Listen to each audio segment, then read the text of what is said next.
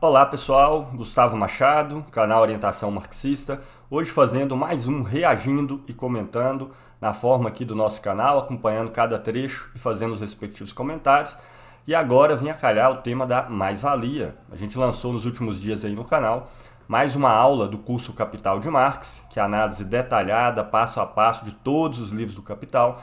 E a última foi a mais-valia absoluta, capítulos 5 a 9 do Capital. Um videozinho curtinho aí de 2 horas e 40 minutos. Então é uma, um momento oportuno para a gente comentar um desses muitos vídeos que tem aí pela internet falando sobre a mais-valia. Vou falar de outros também, mas agora resolvi pegar esse aqui do canal Ideias Radicais, né, da, da figura parece que chama Rafael, que ela se apresenta aí no vídeo. É, não é pelo conteúdo, ok? Sei lá, muito sofisticado que a gente vai reagir a esse vídeo, não, mas pela repercussão, que é um dos critérios principais que a gente utiliza aqui. A gente pode ver que o vídeo teve 436 mil acessos, apesar de já ser bem antigo, é de 2015, ok? Mas pela repercussão é importante comentar é, a, a crítica da teoria da mais-valia que ele vai fazer. Então antes de dar o play, não se esqueça de seguir o canal, apertar o sininho para receber a notificação de novos vídeos, ajudar na divulgação do canal Orientação Marxista, comentar embaixo essa nossa empreitada de analisar de maneira séria e rigorosa a obra o pensamento de Marx, né? dentro desse que é o parâmetro aqui do canal. Não é um canal feito só para marxistas, mas para todo mundo que queira de fato entender o que é o pensamento de Marx. E se a gente vai criticar, evidentemente, se a pessoa não quiser compreender e etc., tudo bem, mas se você quer fazer críticas, você tem que entender a respeito daquelas críticas a qual você está fazendo. Então, o objetivo aqui é a divulgação séria e rigorosa do pensamento de Marx. Então, como tem asneiras colossais, como a desse vídeo, que vocês vão ver já já, é importantíssimo a gente fazer aqui é, os respectivos comentários, ok? Ao canal aí Ideias Radicais e a análise que ele faz do tema da, da mais-valia. Então, sem delongas, vamos ao vídeo. Ideias radicais, por que a teoria da mais-valia é furada? Vamos ver, por que será? Confunde. E vamos conversar sobre a mais-valia, essa teoria do Marx de que existe a exploração do trabalhador está errada. E por que está errada? Qual é exatamente o furo nela? Qual é a teoria? A teoria é de que o trabalhador vai lá e produz 10 mil. Ele ganha 5 mil de salário e o dono da empresa fica com 5 mil, ou seja, ele roubou 5 mil do cara. É a conta que o Marx faz. Por não, não. Isso não é a teoria do mais-valia do Marx, nem fudendo, de jeito nenhum. É verdade que na análise que Marx vai fazer na sua teoria da mais-valia, vai existir de fato uma exploração do trabalhador, e de fato o trabalhador vai ficar com a parte do que ele produziu e o patrão vai ficar com outra. Isso tudo faz parte. Agora, o que a teoria da mais-valia procura responder é como isso acontece, ok? Por quê? Por meio de que processos? Isso é a teoria da, da mais-valia. Não é dizer simplesmente que existe exploração e que o patrão fica com uma parte e o trabalhador com a outra. Veja que inúmeros autores antes de Marx falavam a mesma coisa e nenhum deles elaborou teoria da mais-valia, nenhuma, ok? Para dar um exemplo aqui para materializar, um autor chamado Sismondi de Sismondi, um autor de algumas décadas aí anterior a Marx, ele falava a mesma coisa, que o trabalhador era explorado, que ele não ficava com tudo aquilo que ele produzia, e ele não elaborou teoria da mais-valia nenhuma. Aliás, ele não tinha nem sequer uma teoria do valor. E sem teoria do valor, não tem como ter teoria do, da mais-valia ou do mais-valor, né? Então, ponto que a gente bate sempre nos nossos vídeos, nós sempre que a, é, a teoria da mais-valia ela está embasada inteiramente numa teoria é, do valor e tudo mais. O objetivo aqui não é explicá-la, mas é simplesmente dizer que a teoria da mais-valia não é de jeito nenhum isso aí que ele acabou de falar. Seria como se eu fosse explicar, sei lá, teoria da evolução de Darwin. Eu falasse assim: ah, a teoria da evolução de Darwin é o seguinte: as espécies é, mudam e se diversificam ao longo do tempo. Beleza, tem isso na teoria da evolução de Darwin, mas isso não, diferencia a teoria de Darwin do lamarquismo, por exemplo, que foi a teoria contra a qual Darwin se opôs. Tipo, o lamarquismo também, as espécies se diferenciavam ao longo do tempo. Todos devem lembrar do exemplo de Lamarck aí no ensino médio, da girafa, que o pescoço crescia, porque ela ficava com o pescoço esticado para comer lá em cima e tudo mais. E é exatamente o oposto da teoria de Darwin. Então, a teoria da mais-valia não é isso que ele falou de jeito nenhum. Mas vamos continuar. Que ela está errada? Porque ele esqueceu um fator. Tem vários motivos, na verdade, porque ela está errada, mas um é o suficiente, que é o provavelmente mais fácil de explicar, que é uma coisa que ele esqueceu de pensar quando ele postulou essa teoria, que é tempo. O tempo das coisas. Porque ele está analisando isso com, ah, eu fiz, produziu isso, metade para ele, metade para mim, ou alguma fração, ou não foi tudo para o trabalhador. Logo, o capitalista malvadão branco fascista cis roubou dele. Só que ele, como eu disse, esqueceu de fatorar o tempo. Toda vez que alguém abre um negócio. É sério que Marx esqueceu de fatorar o tempo? Toda a análise de Marx, né, feita no Capital, da teoria da mais-valia, por exemplo, está fortemente embasada no tempo, do início ao fim. Inclusive a própria teoria do valor, o, va o valor das mercadorias, ele é medido pelo tempo. Ele não é o tempo, mas ele é medido pelo tempo.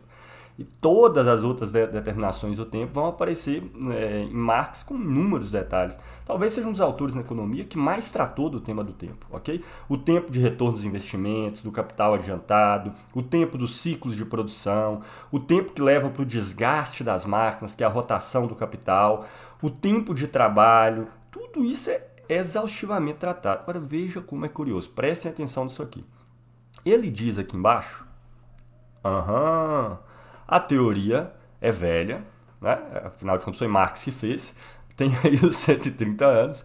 Marx simplesmente esqueceu de levar o tempo em conta avaliar o valor das coisas e elaborar sua teoria do valor, trabalho e capitalismo. Veja o que, que esse cara escreveu, que Marx simplesmente esqueceu de levar o tempo em conta. E aí ele diz logo abaixo, isso aqui já fica claro que ele nunca leu Marx na vida, nem manual. Porque se você pegar um manual de terceira categoria, que vai explicar de maneira atravessada e equivocada as teorias do Marx toda, nenhum deles vai falar isso. E ele disse que quem descobriu isso foi, olha só, Eugen Bombaverk, nesse livro. Ele sequer leu Bombaverk. Porque o centro da teoria, da crítica da teoria de Bombaverk a Marx, a pedra fundamental da crítica que Bombaverk faz a Marx, é exatamente que Marx associou diretamente não é verdade, mas enfim, é que Marx teria associado diretamente o valor das mercadorias ao tempo de trabalho socialmente necessário. E, e Bombaverk, que não tem uma teoria do valor no sentido do Marx, mas ele vai, digamos assim, valorar as mercadorias, é, não pelo critério do tempo de trabalho socialmente necessário, mas por outros aspectos que estão ligados à escola neoclássica. Isso que é importante, só para me chamar a atenção para uma coisa, viu gente? É o fetichismo que tem no YouTube das fontes. Em que sentido? Qualquer coisa que você fala, as pessoas falam: cadê as fontes? Isso é excelente, esse tipo de cobrança. Mas aí as pessoas acham que basta você chegar aqui na descrição e botar um monte de fonte e está tudo resolvido. Não. A fonte só serve se ela for consultada. Se você não consultar a fonte, ela não serve para nada. Eu posso falar qualquer coisa e botar 30 fontes aqui embaixo. Né? E veja a crítica que ele está fazendo, a teoria de mais, a mais-valia de Marx, é o contrário da que ele diz que, do autor que ele diz que ele está se baseando que é Bombaverk. E veja bem, ele coloca aqui o livro do Bombaverk, ó, que é um livro que ele colocou em inglês, ok? Não, não, sei se tem uma versão integral desse livro em português, mas tem vários trechos traduzidos para o português e tem versões em espanhol, que eu inclusive tenho. É, Bombaverk tinha uma visão errada da teoria do valor de Marx, que é exatamente essa identificação entre valor e tempo. Em Marx não é identificado valor e tempo, o tempo é meramente a medida do valor. Logo, toda a teoria do valor de Marx consiste em mostrar por que o valor das mercadorias é medido pelo tempo, é um processo social. E Bombaverk ele acha que tem uma identificação direta de uma coisa com a outra. É, mas tá aqui, aí ele bota um livro em inglês, 256 páginas, confiando que ninguém vai ler, porque ele mesmo não leu. e o que ele está falando aqui é um achismo do que ele acha que é a teoria da mais-valia do Marx, porque o que ele mencionou nem sequer é teoria e um monte de achismo do que, que por que ele acha que isso não funciona, ok? Então vamos continuar vendo, mas deixando claro, o autor que ele cita como fonte não diz isso que ele está falando no vídeo. Bombaverk é um autor até inteligente, ok?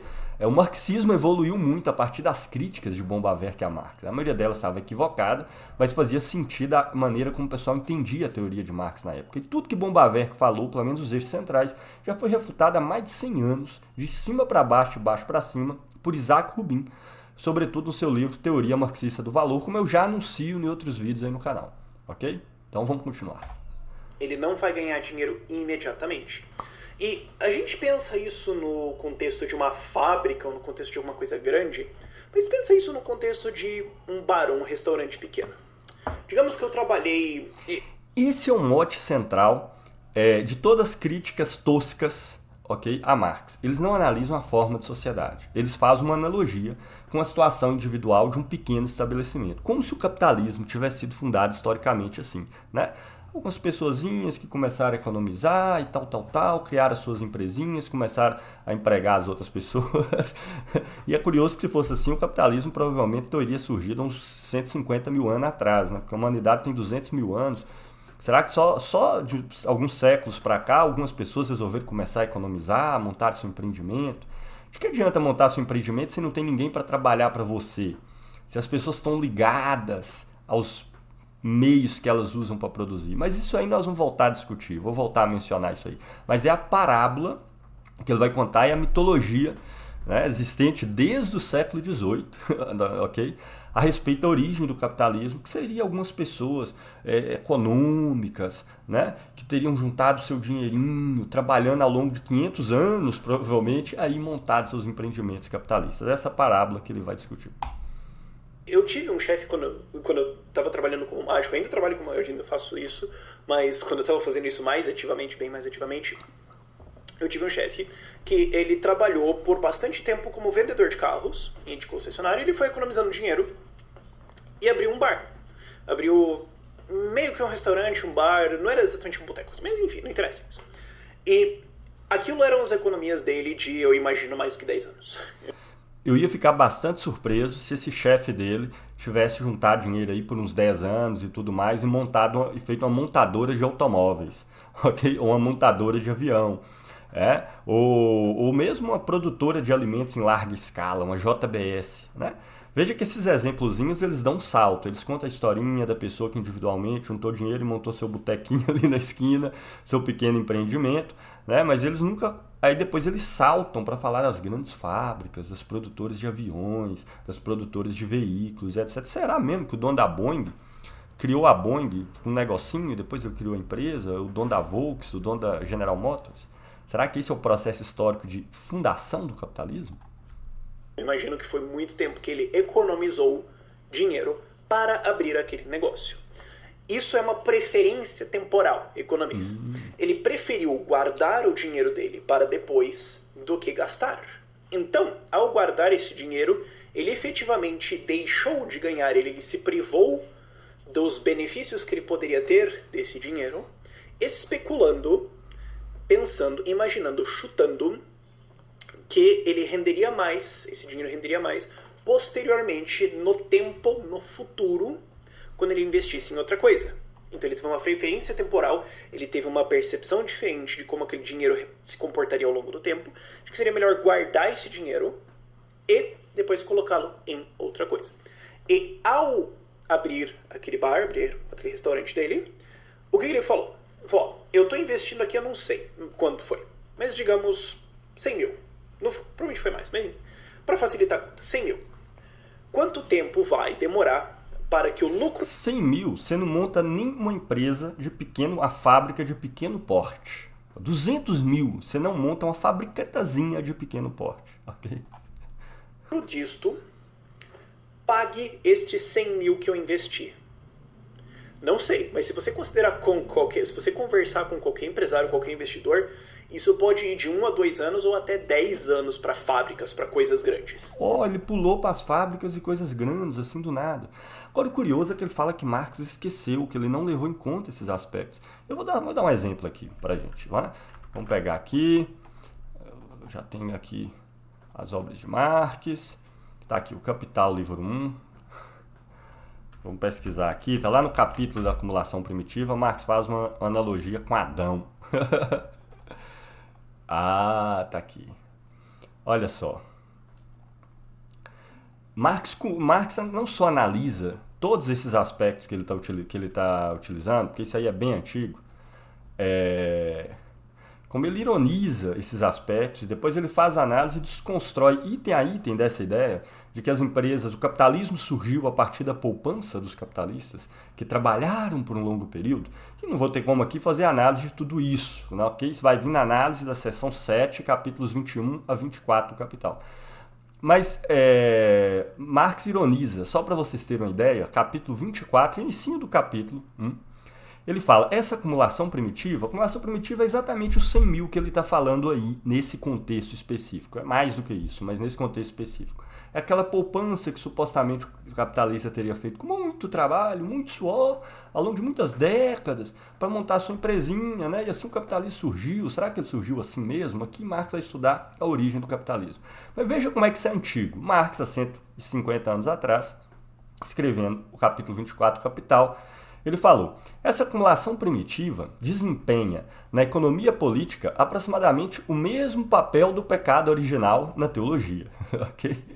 Adão mordeu a maçã e com isso o pecado se abateu sobre o gênero humano. Sua origem nos é explicada como anedota do passado, ou seja, a origem do capitalismo é explicada com essa anedota do passado. Que anedota é essa? Numa época muito remota, havia por um lado uma elite laboriosa, ou seja, trabalhadora, inteligente e, sobretudo, parcimoniosa, ou seja, econômica, que economizava o que ganhava. E por outro, uma súcia de vadios a dissipar tudo o que tinha e ainda mais. É exatamente o que ele está narrando, ok? De fato, a legenda do pecado original teológico nos conta como o homem foi condenado a comer com seu pão com o suor do seu rosto. Ou seja, uma parte trabalhou economizou, a outra trabalhou e gastou, até que ficou uns que tinham dinheiro, outros que não tinham. Mas é a história do pecado original econômico que nos revela como pode haver gente que não tem nenhuma necessidade disso, ou seja, os que economizaram e aí botaram os outros para trabalhar para ela. Seja como for, deu-se assim que os primeiros que acumularam riquezas e os últimos que acabaram sem ter nada para vender a não ser a sua própria pele e desse pecado original datam a pobreza da grande massa, que ainda hoje, apesar de todo o seu trabalho, continua a não possuir nada para vender a não ser a si mesmo, e a riqueza dos poucos, que cresce continuamente, embora há muito tenha deixado de trabalhar. Estou né? lendo esse trechinho aqui só para vocês verem, já é suficiente para a gente ver que é falsa a ideia de que Marx não considerou esses aspectos. Ele poderia até ter feito a crítica de que os aspectos que Marx, a explicação que Marx deu estava errada, que ela não correspondia à realidade. Não. Mas ele simplesmente partiu de uma teoria da mais-valia que ele inventou e a partir daí ele, ele utilizou a parábola da mitologia desde o século XVIII da origem do capitalismo, que seria uma, um grupo de trabalhadores econômicos, parcimoniosos, que teria juntado seu dinheirinho para fundar o capitalismo. Não foi assim. Né? Não foi assim e nem precisa ser marxista para entender isso.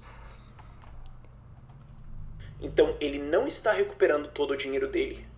Agora, para que aquele negócio. E se você olhar, na verdade, no começo do estabelecimento de vários negócios, especialmente pequenos negócios, ah, o começo é prejuízo. Os primeiros ah. seis meses são prejuízo. Você está tirando dinheiro do seu bolso e jogando num buraco na esperança especulativa de que no futuro aquilo dê dinheiro. Importante, ele não está refutando nem sequer a falsa teoria da mais-valia que ele criou. Ele está simplesmente dando uma explicação moral de por que, que apesar de existir talvez essa exploração, seria justo ok? É uma explicação moral baseada na parábola do pequeno, da pequeno empreendimento, do restaurantezinho, do boteco e etc. Né? Então, sempre ele volta para essa analogia com pequeno estabelecimento, mas ele nunca analisa a forma de sociedade. Como que ela funciona, como que ela estrutura, e se de fato a explicação que Marx deu sobre ela está correta ou não. Aí você fala, não, mas ah, agora a gente tem um entendimento maior de como é empreender. Uhum. Então, onde que está o pulo do gato? O funcionário está produzindo 2 mil e ganhando mil, digamos. Sim. O dono está ficando com mil. Sim. Se ele tivesse estudado Bombaverk, que é o autor que ele cita na fonte que ele não leu, ele daria uma explicação muito mais sofisticada disso, porque a, o caminho que Bombaverk faz, ele não permite chegar à conclusão que o funcionário produziu 2 mil e ficou com mil. ok? Ele não permite estabelecer essa conclusão. Então, o que ele está dizendo, na verdade, é que a teoria da mais-valia do Marx, que não é exatamente o que ele falou, mas que ela é correta, que ela explica o que está acontecendo na realidade, mas que apesar disso é justo que seja assim. Veja como ele está usando o argumento que não diz que a teoria da mais-valia, que não é o que ele explicou, é falsa. Ele diz que é verdadeira, só que é justo, do ponto de vista moral e ético. Tá claro? A alternativa é, bom, o dono então ele não gasta o dinheiro dele, ele não empreende, porque se ele não pudesse ficar com parte, ele não ia investir. Então ele não abre o negócio e o cara está desempregado. Também é uma alternativa, a gente pode fazer isso se você quiser. Ah, com certeza. A única alternativa que as pessoas têm no sociedade capitalista são alternativas capitalistas. É por isso que Marx não está propondo alternativa individual para trabalhadores e para grupo de trabalhadores. Está propondo a mudança da forma de sociedade. Né? Veja que ele, ele absolutiza de tal forma as características da sociedade capitalista que o tempo inteiro ele se esquece que a sociedade capitalista passou a existir, e, do ponto de vista da história do gênero humano, há muito pouco tempo. Né? Muito pouco tempo. Vocês já ouviram falar em escravos desempregados na Roma? Não, porque todas essas discussões específicas do capitalismo não se aplicavam. Hã? Em aumentar a produção, tem vários estudos históricos sobre a Grécia, interessantíssimo, que as pessoas colocam o seguinte problema. Ora, os gregos tinham conhecimento para produzir, é, para ter, sobretudo no seu trabalho artesanal, produção muito maior do que aqueles de fato faziam. Aí, quando os historiadores foram estudar por que isso acontecia, é porque não fazia sentido. Não era uma sociedade inteira monetarizada e a, a forma mercadoria não regia o conjunto da sociedade, embora existisse mercadoria. Então, se o cara dobrasse a produção dele, ele simplesmente ia ter metade dos produtos que não ia ter ninguém com que eles podiam ser entregues. A forma de sociedade era outra. As leis internas que regiam era outra. As características internas era outra. Então Marx está fazendo a crítica da sociedade capitalista não para propor uma, ou uma saída individual dentro do capitalismo, mas para propor uma outra forma de sociedade, regida por outras leis, por outras características. Se, se te agrada melhor a pessoa ficar desempregada, tá bom, esse é o salário mínimo real, é zero, é quando você está desempregado. Ah. Mas ok. Então, o cara está ganhando mil agora. A gente também poderia fazer o seguinte: os empregados se unem e abrir uma empresa. Enquanto ela não der lucro, eles não ganham dinheiro, porque o que eles produzem vai para a produção da empresa e eles vão ganhar o pouquíssimo lucro que a empresa tem no começo, que vai dar muito menos do que o salário deles, e eles vão morrer de fome até a empresa dar certo. Também, a gente também pode fazer assim. Hoje Veja que, novamente, ele simplesmente usa a parábola do início do capitalismo, o exemplo da pequena empresinha, para dizer que no capitalismo as pessoas só têm a saída capitalista para viver, ou seria pior. é óbvio, é evidente. No capitalismo, ou você vende a sua força de trabalho, se você não tiver como ter empreendimento nenhum, você vai ser um desempregado que não vai ter nada. Né? E aí eles remete ao prejuízo da pequena empresa, né? o tempo que a pequena empresa toma prejuízo e etc, etc. Sempre recorrendo à analogia da pequena empresa. Pode fazer melhor, se for numa empresa grande, um negócio de, sei lá, 8, 10 anos para se pagar, a gente pode fazer o seguinte: todos os funcionários trabalham de graça por 10 anos e daí eles ganham algum dinheiro porque eles estão pagando todas as dívidas que eles contraíram para abrir a empresa. A gente também pode fazer isso. Pô, mas é a grande empresa, como é que foi? Esse dinheiro inicial que ela foi fundada é o carinha que trabalhou lá, ralou, entendeu? É, ganhando seu salarinho durante décadas, e aí pegou e fundou a montadora de automóveis, a JBS, mas isso aí você não explicou, rapaz. Não me parece muito viável, eu acho que eles vão morrer de fome antes. O que, que está acontecendo? Está acontecendo uma troca. O funcionário fala, olha, eu produzo 10 e ganho 5. Eu ganho 5 agora. E eu vou continuar ganhando 5 se a empresa der lucro ou der prejuízo. Se ela tá dando certo ou não. Se o dono tá tendo que botar dinheiro ou não. Eu tô ganhando 5. E eu vou continuar ganhando 5.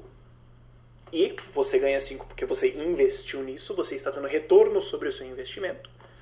E eu prefiro isso agora do que depois. Eu prefiro ganhar 5 agora do que ganhar lá na frente o empresário, o funcionário, se ele conseguir, o funcionário, se ele conseguir um crédito para abrir uma empresa, que se sinta convidado a fazer. Se ele quiser. Esse... Oh, agora o cara vai abrir empresa, ele vai conseguir um crédito. Mas olha que curioso, não era o cara que ia trabalhando e juntando a sua poupancinha para virar um capitalista depois? Agora surgiu a figura do crédito. Mas e cadê o trabalho do cara para ter um investimento para iniciar a empresa? Porque o crédito é a poupança das outras empresas onde as pessoas estão trabalhando, as pessoas depositam seu dinheiro em uma instituição bancária que vai ficar disponível como crédito para um conjunto de outras empresas, ou seja, produto do trabalho que está acontecendo no momento atual. Não é a parábolazinha que você contou no início da gênese, da origem do, né, da empresa, que o cara trabalhou 10 anos para montar seu restaurantezinho, agora você já está usando a figura do crédito. Mas aí isso aí arruína seu argumento, meu caro, porque o crédito não foi o cara que trabalhou 30 anos para somar aquela soma. É produto dos trabalhadores que estão trabalhando todo o conjunto das outras empresas, que acumulam um excedente e que esse excedente é colocado no banco. Então já, só o, o crédito já arruinou a sua explicaçãozinha original. Mas veja que ele já deixou de discutir mais-valia há muito tempo. Aliás, ele discutiu 10 segundos do tema que ele falou que ia mostrar que a teoria estava furada. Se ele quiser se expor ao crédito, ao risco de fazer isso, às preferências temporais, de ganhar muito dinheiro depois, ele que faça. Se ele tiver as habilidades também. Ninguém é empre... ninguém nasce empreendedor. Você tem que ter uma noção disso. Esse cara que eu citei, por exemplo, não deu certo. Ele voltou a trabalhar ah. como como vendedor de carros. Não deu certo. Ele empreendeu e deu errado. Legal. Mas, ah, tudo que ele está falando é, no capitalismo você não tem outra opção. Você vai empreender ou você vai trabalhar. Se você tiver como empreender, você empreende. Se você não tiver como empreender, você vai ter que trabalhar, o que é óbvio. Ninguém está questionando, Marx está questionando as opções individuais no capitalismo. São essas. Está questionando a forma de sociedade. É por isso que ele propõe a organização da classe para lutar contra a forma de sociedade. E não saídas individuais. Os funcionários deles foram pagos, inclusive eu. Então, a gente podia ter feito assim, não, todo mundo se organiza lá tal. E, bom, quebrou, então ninguém ganhou nada. Então, todos aqueles anos que vocês colocaram nisso, vocês receberam precisamente zero reais a gente pode fazer essa escolha. E o funcionário faz essa escolha. Eu prefiro receber isso agora do que correr todos os riscos de empreender e ter que receber lá na frente. Eu escolho receber agora. Ou se eu não sei fazer essa outra coisa, também ninguém é obrigado a me ensinar. Eu recebo agora. Sim, você tem razão. No capitalismo você não tem escolha. Se você não tem capital, você trabalha. Se você tem capital, você investe. O capitalismo é assim, óbvio. E? É uma troca. É só que você tem que ver isso no contexto empresarial e levar o tempo em conta. O empreendedor, o capitalista malvadão, escolheu economizar dinheiro. Ele escolheu, ao invés de aproveitar o que ele poderia fazer com aquele dinheiro, ele escolheu guardar e depois colocar nisso num buraco em que ele vai demorar tempo para ver esse dinheiro de volta, enquanto isso outras pessoas estão recebendo. São trocas que acontecem ao longo do tempo. E dinheiro ao longo do tempo tem um valor diferente é curioso, né? Veja, o capitalista, quando ele pega milhões de créditos, será mesmo que ele tem essa escolha? Ele chega lá no banco e fala: então, rapaz, eu tô querendo aqui 50 milhões para me torrar, entendeu? Eu vou viajar para Cancún, vou para as ilhas da Oceania, vou torrar tudo e etc. Ele vai receber alguma coisa? Não, ele tem que apresentar a empresa que ele tem, a taxa de lucro que a empresa tem, o tamanho do mercado, o tamanho da produção. O banco vai olhar se aquilo ali é suficiente para ter o retorno daquele crédito e vai lhe emprestar os 50 milhões, né? Agora, vai lá um trabalhadorzinho que não tem coisa nenhuma, assim, eu quero 50 milhões para montar uma indústria do zero e ver se ele vai ter alguma coisa. Você pode preferir ganhar 100 reais agora do que ganhar 100 reais daqui seis semanas. Eu posso falar, eu posso dar 100 reais agora ou daqui seis semanas? Onde que você prefere? Óbvio que você é. prefere agora. A única diferença é que para mim ter a escolha de ganhar alguns milhões para daqui a alguns meses, para daqui a alguns anos, eu tenho que ter o capital inicial que eu vou aplicar.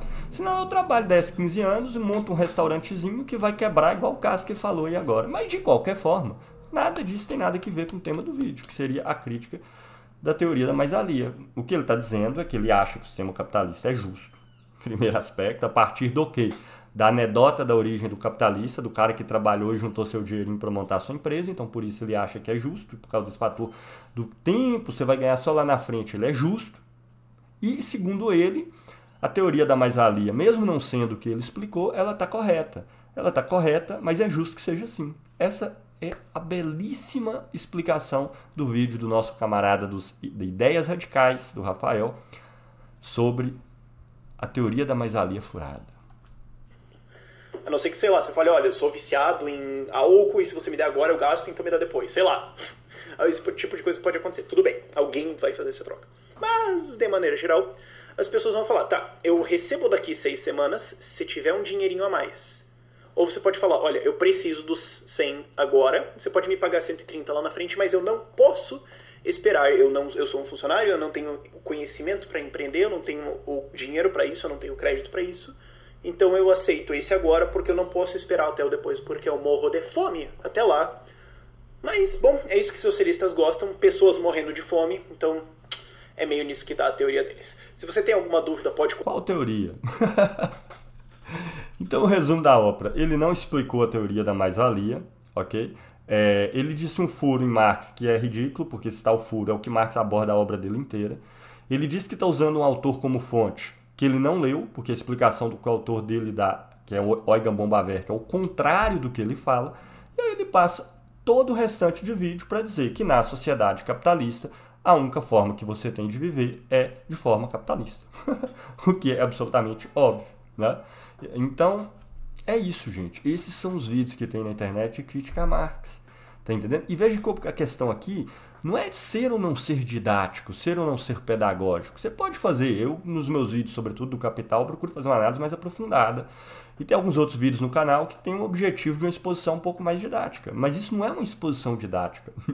isso não é exposição nenhuma ok? Ele não explicou o que é a teoria que ele vai criticar, nem didaticamente, e depois ele simplesmente quis dizer que a sociedade capitalista, no final das contas, é justo, apesar de, ter exploração mesmo. Esse é o resumo da ópera. Esse é o vídeo com 436 mil acessos, que fala sobre mais-valia, um dos vídeos que fala sobre mais-valia com mais acessos no YouTube brasileiro. Então vocês podem ter uma ideia o como dá para levar a sério um montão de coisas que as pessoas falam aí sobre Marx. Mas ficamos por aqui. Vou voltar depois com reagindo com alguma, algum tipo de abordagem um pouquinho mais sério para a gente poder discutir as questões um pouco mais a fundo. Mas fico por aqui, um abraço, até o próximo vídeo.